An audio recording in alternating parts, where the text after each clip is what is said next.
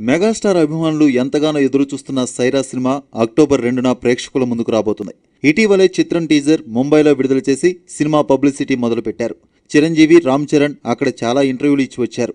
Teaser బాగుండడంతో అన్ని భాషల్లోనూ మంచి బజు వచ్చింది. బాహుబలిలా దేశం మొత్తం విడుదల చేసి హిట్ కొట్టాలని చిరంజీవి కళ అయితే బాలీవుడ్లో సైరాకు అంత అనుకూలమైన పరిస్థితులు లేవు. సోలో రిలీజ్కు అవకాశమే లేదు. ఆ రోజు హృతిక్ రోషన్ టైగర్ ష్రాఫ్ నటించిన వారు సినిమా విడుదల కాబోతుంది. దానితో సైరా ఆ రోజు ఆడియన్స్కి సెకండ్ ఛాయిస్ అవుతుంది. కాంపిటీషన్ తట్టుకుని ఒక డబ్బింగ్ సినిమా బాక్సాఫీస్ వద్ద తన సత్తా చూపిస్తుందా అనేది అనుమానమే. మరోవైపు వచ్చే నెలలో జరగబోయే సినిమా ప్రీ రిలీజ్ ఈవెంట్కు అమితాబ్ బచ్చన్ను తీసుకుని రావాలని చిత్ర బృందం భావిస్తుంది. సినిమాలో ఆయన వాయిస్ ఓవర్ కూడా ఉంటుందట. దానితో సినిమా బాలీవుడ్లో కొంత హైప్ వస్తుందని చిత్ర బృందం భావిస్తుంది. అయితే అది మంచి ఓపెనింగ్ రాబట్టడానికి సరిపోతుందా అనేది చూడాలి. అమిత్ తడాని ఫర్హాన్ అఖ్తర్ ఈ సినిమా హిందీ రైట్స్ను చేజెక్కించుకున్నారు. ఫర్హాన్ అఖ్తర్ ఎక్సెల్ ఎంటర్టైన్మెంట్స్ ద్వారా ఈ చిత్రాన్ని మార్కెట్ చేయబోతున్నారు. గతంలో వీరిద్దరూ కేజీఎఫ్ను హిందీలో ఇలాగే విడుదల చేశారు. దీంతో సినిమాకు అక్కడ మంచి రిలీజ్ కలెక్షన్లు వచ్చే అవకాశం ఉంది. ఓపెనింగ్ ఎలా ఉండబోతుందో చిరంజీవి కళ నెరవేరుతుందో లేదో చూడాలి. ఇదిలా ఉండగా ఇప్పుడు మరికొన్ని వార్తలు మెగా అభిమానులను కలవరానికి గురి చేస్తున్నాయి.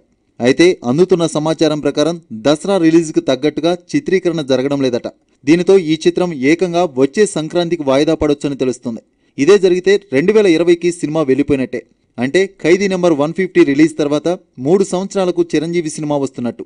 ఆలస్యం కారణంగా సినిమా బడ్జెట్ కూడా భారీగా పెరిగినట్టు తెలుస్తుంది. దీనితో మెగా అభిమానులు ఆందోళనకు గురవుతున్నారు. సైరా చిత్రంలో జగపతి బాబు విజయ్ సేతుపతి కీలక పాత్రలో కనిపిస్తారు. మెగా బ్రదర్ నాగబాబు తనయ నిహారిక కూడా ఓ పాత్రలో తలుక్కున మెరవబోతుంది. తెలుగుతో పాటు తమిళ కన్నడ మలయాళ హిందీ భాషల్లోనూ ఈ చిత్రాన్ని విడుదల చేయాలని భావిస్తున్నారు.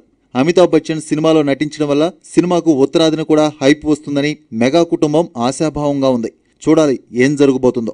మెగాస్టార్ అభిమానులు ఎంతగానో ఎదురు చూస్తున్న సైరా సినిమా అక్టోబర్ రెండున ప్రేక్షకుల ముందుకు రాబోతుంది. ఇటీవలే చిత్రం టీజర్ ముంబైలో విడుదల చేసి సినిమా పబ్లిసిటీ మొదలుపెట్టారు. చిరంజీవి రామ్ చరణ్ అక్కడ చాలా ఇంటర్వ్యూలు ఇచ్చి వచ్చారు.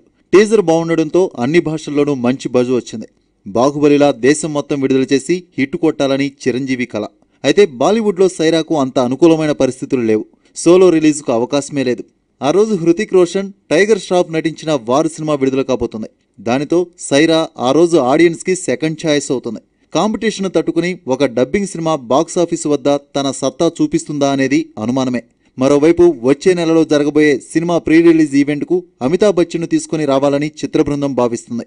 సినిమాలో ఆయన వాయిస్ ఓవర్ కూడా ఉంటుందట. దానితో సినిమా బాలీవుడ్లో కొంత హైప్ వస్తుందని చిత్ర బృందం భావిస్తుంది. అయితే అది మంచి ఓపెనింగ్ రాబట్టడానికి సరిపోతుందా అనేది చూడాలి. అమిత్ తడాని ఫర్హాన్ అఖ్తర్ ఈ సినిమా హిందీ రైట్స్ను చేజెక్కించుకున్నారు.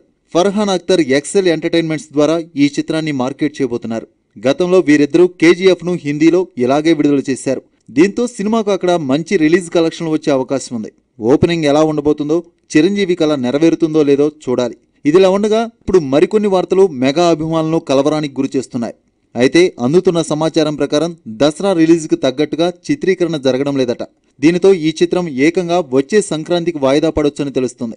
ఇదే జరిగితే రెండు వేల ఇరవైకి సినిమా వెళ్ళిపోయినట్టే. అంటే Khaidi number one fifty release తర్వాత మూడు సంవత్సరాలకు చిరంజీవి సినిమా వస్తున్నట్టు. ఆలస్యం కారణంగా సినిమా బడ్జెట్ కూడా భారీగా పెరిగినట్టు తెలుస్తుంది. దీనితో మెగా అభిమానులు ఆందోళనకు గురవుతున్నారు. సైరా చిత్రంలో జగపతి బాబు విజయ్ సేతుపతి కీలక పాత్రలో కనిపిస్తారు. మెగా బ్రదర్ నాగబాబు తనయ నిహారిక కూడా ఓ పాత్రలో తలుక్కున మెరవబోతుంది. తెలుగుతో పాటు తమిళ కన్నడ మలయాళ హిందీ భాషల్లోనూ ఈ చిత్రాన్ని విడుదల చేయాలని భావిస్తున్నారు. అమితాబ్ బచ్చన్ సినిమాలో నటించడం వల్ల సినిమాకు ఉత్తరాదిన కూడా హైప్ వస్తుందని మెగా కుటుంబం ఆశాభావంగా ఉంది. చూడాలి ఏం జరగబోతుందో.